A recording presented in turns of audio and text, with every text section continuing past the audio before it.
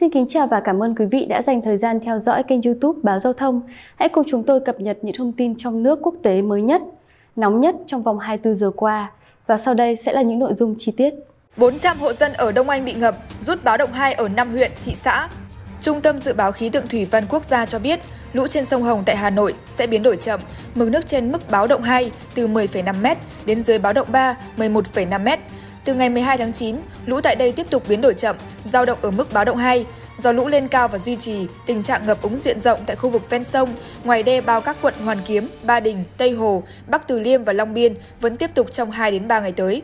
Lũ tại các dòng sông này biến đổi chậm và duy trì ở mức rất cao. Tình trạng ngập úng còn kéo dài trong 3 ngày tới tại các quận huyện Trường Mỹ, Ứng Hòa, Phúc Thọ, Sơn Tây, Mỹ Đức, Thanh Trì, Hoài Đức, Gia Lâm, Đông Anh và Hà Đông.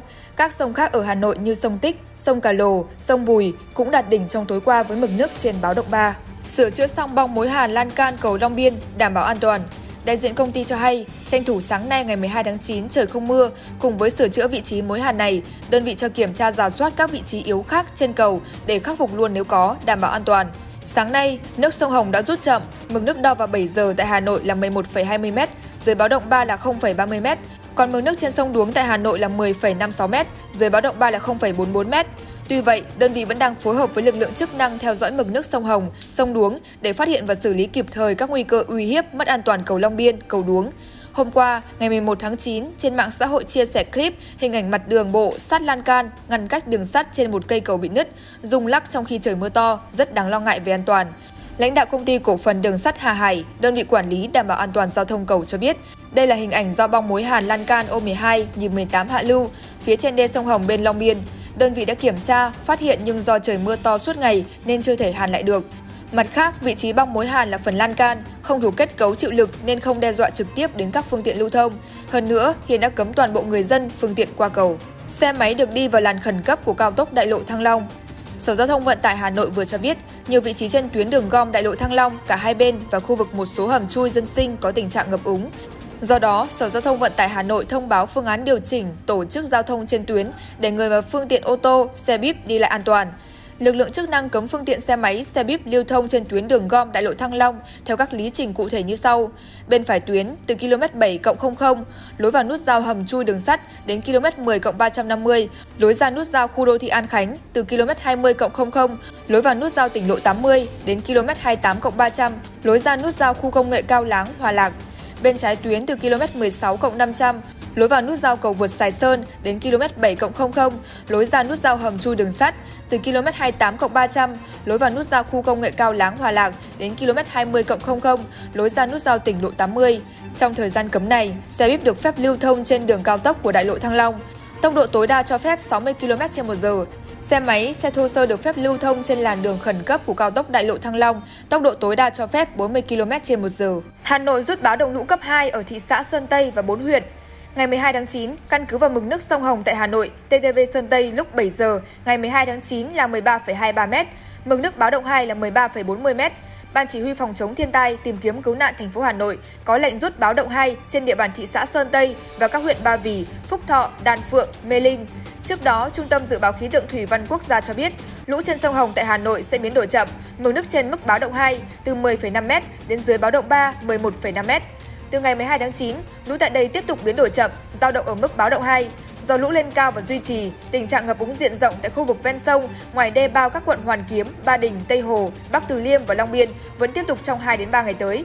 Lũ tại các dòng sông biến đổi chậm và duy trì ở mức rất cao. Tình trạng ngập úng còn kéo dài trong 3 ngày tới tại các quận huyện Trương Mỹ, Ứng Hòa, Phúc Thọ, Sơn Tây, Mỹ Đức, Thanh Trì, Hoài Đức, Gia Lâm, Đông Anh và Hà Đông. Các sông khác ở Hà Nội như sông Tích, sông Cà Lồ, sông Bùi cũng đạt đỉnh trong tối qua với mực nước trên báo động 3. Vất vả tách xe 4 chỗ không cho qua vùng ngập sâu trên cao tốc Pháp Vân, Cầu Rẽ. Những chiếc xe ngập nửa bánh khi di chuyển qua khu vực ngập trên cao tốc Pháp Vân, Cầu Rẽ. Lãnh đạo đội tuần tra kiểm soát giao thông đường bộ số 3, Cục Cảnh sát Giao thông Bộ Công an cho biết, đảm bảo an toàn giao thông tại vị trí ngập trên cao tốc Pháp Vân, Cầu Rẽ, đơn vị đã bố trí lực lượng phối hợp hướng dẫn người dân đi theo từng làn phù hợp. Cũng theo lãnh đạo đội tuần tra kiểm soát giao thông đường bộ số 3, Cục Cảnh sát Giao thông Bộ Công an, để người tham gia giao thông chủ động lịch trình, căn cứ mực nước ngập thực tế, ngày sáng nay, đơn vị đã chủ động thông báo trên các phương tiện thông tin truyền thông về việc hạn chế các xe 4 đến 7 chỗ, xe khách 16 chỗ lưu thông trên tuyến Pháp Vân Cầu Rẽ. Nếu mưa tiếp tục kéo dài, chúng tôi sẽ tiếp tục báo cáo cấp có thẩm quyền cấm toàn bộ tuyến đường để tránh thiệt hại về tài sản, tránh ùn tắc, đảm bảo tuyến đường được thông suốt, vị này chia sẻ. Tại khu vực trước trạm thu phí km 188, lực lượng cảnh sát giao thông hướng dẫn các xe ô tô cá nhân từ 7 chỗ trở xuống chuyển hướng di chuyển sang quốc lộ 1. Chia sẻ thêm với báo giao thông, ông Phạm Văn Khôi, Tổng Giám đốc Công ty Cổ phần Đầu tư và Xây dựng Giao thông Phương Thành, nhà đầu tư cho biết, xác định cao tốc Pháp Vân Cầu Rẽ là tuyến kết nối huyết mạch phía nam của thủ đô Hà Nội. Ngay khi tình trạng ngập cục bộ diễn ra, nhà đầu tư đã chỉ đạo đơn vị quản lý vận hành chủ động đánh giá nguy cơ mất an toàn trên tuyến, tạo cơ sở xây dựng phương án khai thác tuyến phù hợp nhất. Cùng với báo cáo Cục Đường bộ Việt Nam, chúng tôi đã phối hợp chặt chẽ với lực lượng chức năng, phân luồng phương tiện từ xa tại ngã tư Pháp Vân, chiều Pháp Vân Cầu Rẽ tại khu vực Vạn Điểm, huyện Thường Tín, chiều Cầu Rẽ Pháp Vân. Nhà đầu tư cũng đã kiến nghị cơ quan liên quan phát huy tối đa công suất trạm bơm khu vực. Khó ở chỗ khu vực sông Nhuệ là nơi có thể tiêu thoát nước, hiện nước lũ cũng dâng cao. Do đó, đảm bảo cho phương tiện lưu thông an toàn là phương án đang được đơn vị quản lý vận hành tập trung thực hiện trong thời gian chờ nước rút, ông Khôi chia sẻ. Hiện tại, nhân viên đơn vị quản lý vận hành đang thay nhau ứng trực 24 trên 24, với phương tiện cứu hộ cũng đã được huy động thường trực, đảm bảo giao thông luôn được thông suốt. Các phương án phân luồng giao thông sẽ được thay đổi linh hoạt, phù hợp với điều kiện thực tế. Theo lãnh đạo công ty Phương Thành, sau khi nước rút, nhà đầu tư sẽ tiến hành giả soát, đánh giá toàn diện kết cấu công trình, khắc phục sửa chữa nếu có, bảo đảm chất lượng công trình trong thời gian sớm nhất, đáp ứng nhu cầu lưu thông vô cùng lớn trên tuyến cao tốc Pháp Vân, Cầu Rẽ. Nhiều tài xế, hành khách không khỏi thấp thỏm khi đi qua khu vực nước dâng cao trên cao tốc. Nhiều phương tiện chết máy sau khi qua đoạn tuyến ngập nước được lực lượng cảnh sát giao thông kịp thời hỗ trợ.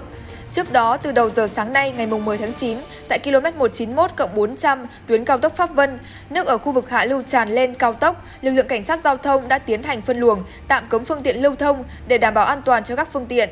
Ngay sau sự cố, ông Bùi Quang Thái, Cục trưởng Cục Đường bộ Việt Nam đã trực tiếp kiểm tra, có ý kiến chỉ đạo công tác khai thác tuyến cùng với yêu cầu tiếp tục tập trung lực lượng điều tiết giao thông, đảm bảo cho phương tiện lưu thông an toàn, lãnh đạo Cục Đường bộ Việt Nam đề nghị nhà đầu tư nghiên cứu bổ sung công trình thoát nước. Trường hợp không giải quyết được ngập, ông Thái giao nhà đầu tư nghiên cứu cải tạo công trình bằng việc nâng mặt đường một số đoạn thiết yếu.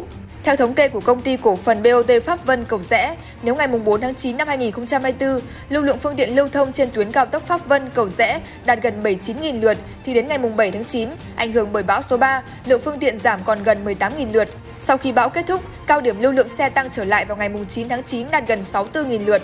Đến ngày 10 tháng 9, ảnh hưởng bởi mưa lớn, tuyến xuất hiện tình trạng ngập, lưu lượng phương tiện lại giảm, chỉ đạt hơn 39.200 lượt phương tiện. Di rời nhiều hộ dân ở Nam Từ Liêm, Sáng ngày 12 tháng 9, Công an quận Nam Từ Liêm, Hà Nội cho biết, do ảnh hưởng của bão và mưa lớn kéo dài, mực nước sông Nhuệ dâng cao, cơ quan này đã chủ động cùng chính quyền địa phương tổ chức di rời giúp dân tránh lũ. Tại phường Trung Văn, khu vực ven sông Nhuệ, có 250 hộ đều thuộc diện tạm trú với khoảng 700 khẩu bị ảnh hưởng do ngập úng. Trong đó, 15 hộ với khoảng 40 nhân khẩu bị nước ngập vào nhà. Cơ quan chức năng đã yêu cầu họ di rời đến nơi ở khác, đồng thời cắt điện đối với các nhà bị ngập úng. Ở phường Đại Mỗ, các lực lượng đã di rời 42 hộ dân, 118 người đến nơi an toàn. Trong số này, có trường hợp người già không có thân nhân được đưa về ở tại nhà văn hóa tổ dân phố số 2 Ngọc Trục, được tổ dân phố đảm bảo điều kiện sinh hoạt đầy đủ. Người dân Tứ Liên chạy đua cứu quất. Ngày 12 tháng 9, nước sông Hồng dâng cao nhấn chìm hoàn toàn diện tích trồng quất, khu dân cư làng Tứ Liên, phường Tứ Liên, quận Tây Hồ, Hà Nội. Nhiều dân chạy đua với thời gian, cố gắng cứu từng cây quất bị chìm trong biển nước. Không lo tái hiện trận lụt lịch sử năm 2008.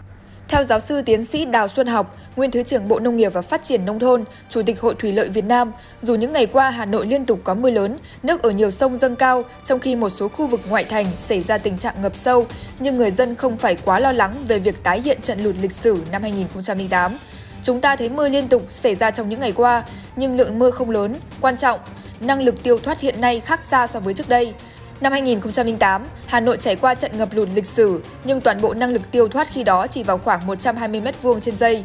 Sau trận ngập lịch sử cách đây 16 năm, Bộ Nông nghiệp và Phát triển Nông thôn đã trình chính phủ quy hoạch tiêu úng cho Hà Nội với toàn bộ công suất được phê duyệt là 545 m2 trên giây.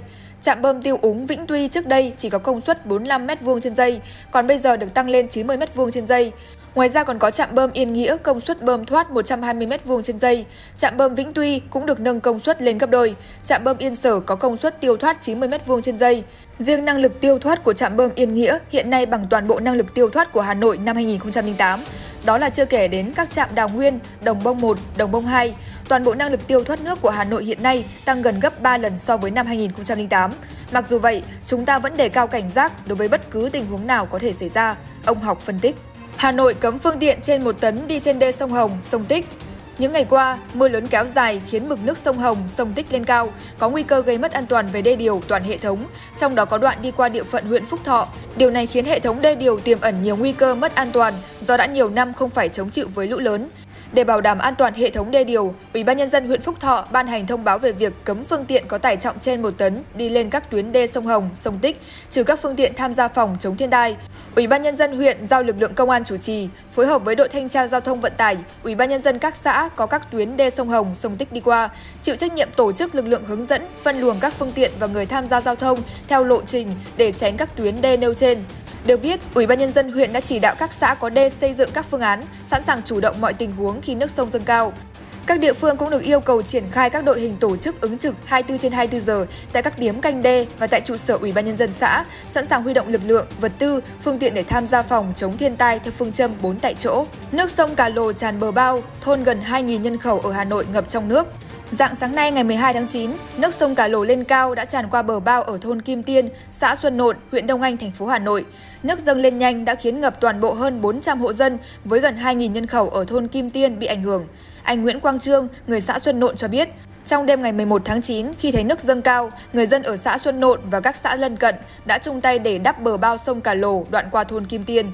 Mọi người rất khẩn trương, nhưng mức nước lên nhanh quá, không trở tay kịp nên đã tràn qua bờ bao khiến toàn bộ thôn bị ngập. Nhưng trước đó, người dân cũng đã chuyển đồ đạc lên cao nên cũng giảm thiệt hại về tài sản, anh Trương cho biết. Trước đó, Ủy ban nhân dân huyện Đông Anh, Ủy ban nhân dân xã Xuân Nộn đã thông báo vận động nhân dân thôn Kim Tiên di chuyển khỏi vùng trũng để tránh ngập lụt.